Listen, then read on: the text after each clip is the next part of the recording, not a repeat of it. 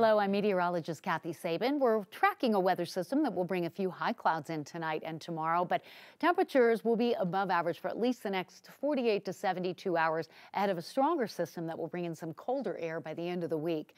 Also tracking air of low pressure in the southern plain states that will actually bring some beneficial moisture to areas that haven't had a lot of rain. This is the trough we're watching for late in the week into next weekend.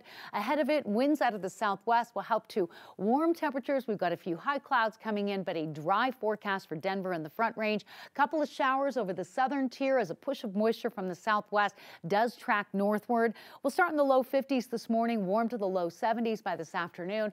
High clouds, and that is about it. Average high is 62. We're still 10 degrees warmer than that at 73 for a forecast high for Denver, almost 80 for La Junta, Lamar, and Springfield, and mid 70s out across the western slope. Your Front Range foothill numbers are toasty as well today, mid 60s, almost 70 for Pine Junction and Evergreen.